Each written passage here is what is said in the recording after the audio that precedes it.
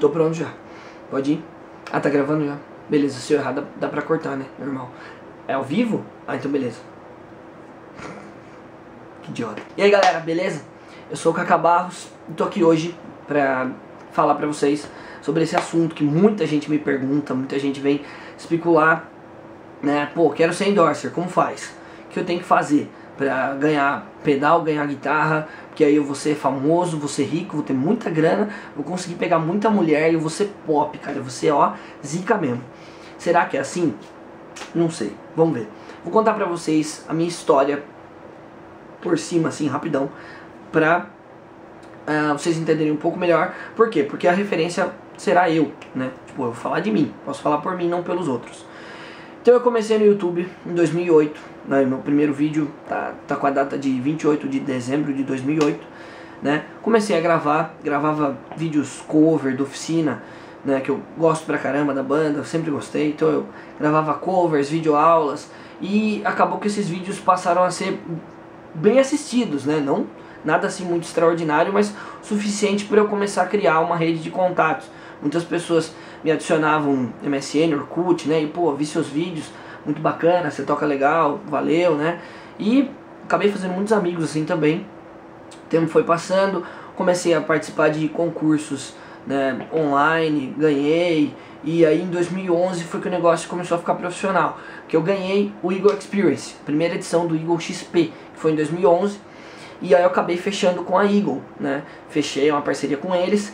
E aí que o negócio começou a pender pro lado. Não que para você ser profissional você precisa ser endorser, não. Mas foi o que aconteceu comigo. Porque aí eu comecei a, a, a dar mais prioridade para isso, né? A tratar de uma maneira mais profissional, certo?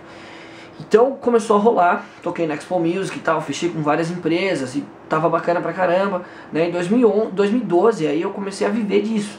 Comecei a fazer disso meu trabalho, né? Aulas via Skype pauleira, né? Já comecei a fazer umas gravações também, dava aulas presenciais e foi indo o negócio. Né? E até hoje estou assim, casei, estou bem, graças a Deus. E vivo de música, sou músico, né? Meu sustento vem é, quase que totalmente das aulas, né? Muito pouco entra de, de outras coisas, mas tudo relacionado à música também.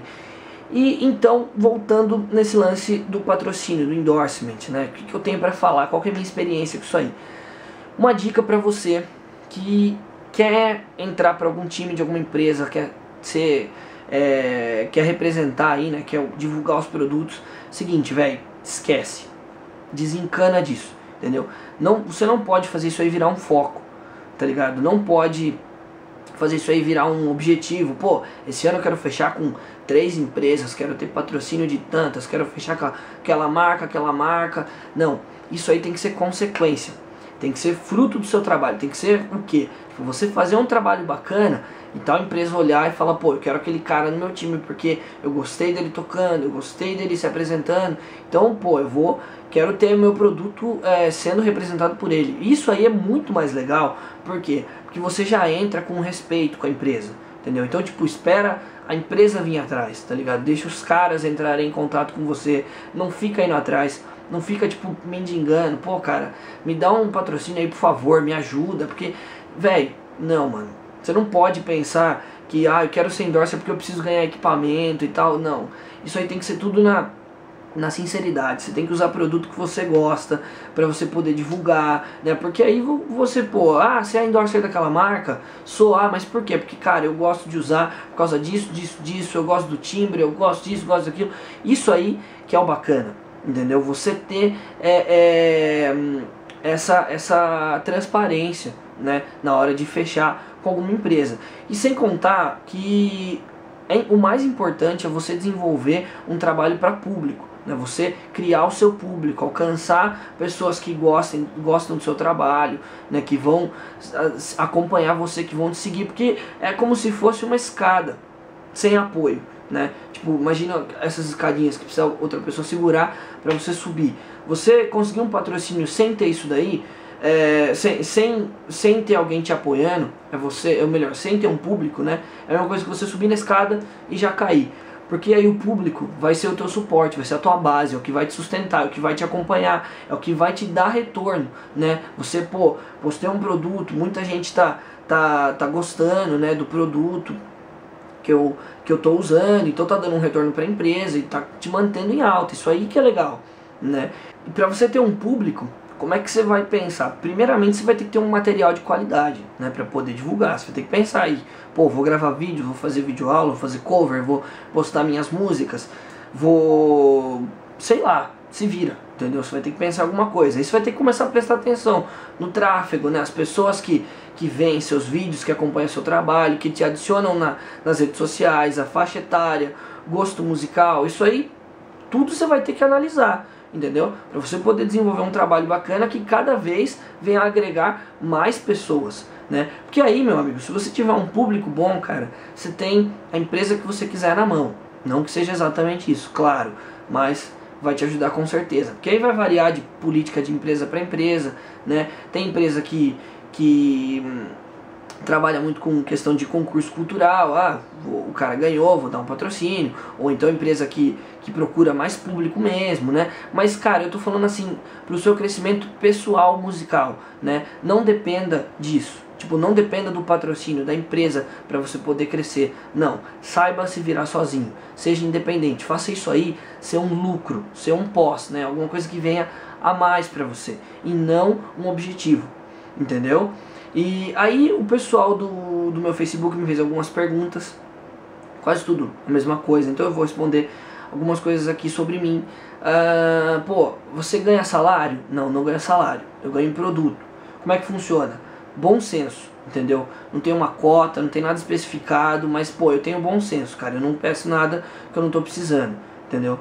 As empresas são super abertas, todas as empresas eu tenho um, um excelente relacionamento, entendeu? Então o que eu preciso, eu explico para eles, eles me mandam numa boa, não peço nada a mais e, e, eles também não me deixam faltar nada, entendeu? Então é assim que funciona.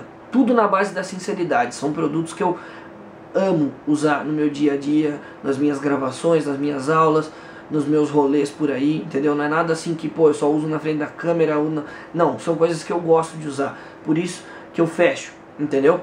É, outra pergunta que me fizeram, é, você é obrigado a fazer alguma coisa?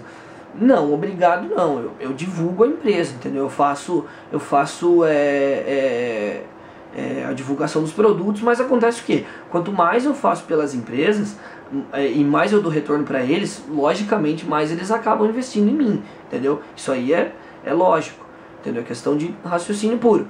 E Outra coisa também que é importante é você pensar no seguinte, para você não fechar uma empresa, uh, uma empresa no impulso, porque você tem que pensar que a empresa que você fechar tem que fazer sua identidade e você a dela. Tipo, tem que ter uma transparência, né? uma troca de identidades, uma coisa que você olhe para o camarada e lembre da empresa, e você olhe para um produto da empresa e lembre daquele camarada. Isso aí que é a verdadeira relação do endorser, né? Do, do, do, da empresa com, com o patrocinado. Isso aí que é o mais bacana, né? Você ter essa transparência, essa troca de imagens, entendeu? Então, acredito que é isso aí. Espero que tenha ajudado vocês. Não se esqueçam, tá? Desencana disso, se foca no seu trabalho, se foca em fazer uma coisa bacana que com certeza você vai ter retorno. E não se esqueça que não tá só aqui nos seus dedinhos, tá aqui também, ó. Entendeu? Você tem que pensar muito para fazer as coisas, dar uma olhada em mercado, em tendência, tudo isso aí é importante, beleza? Então é isso aí, galera. Tamo junto, valeu, até a próxima e abração.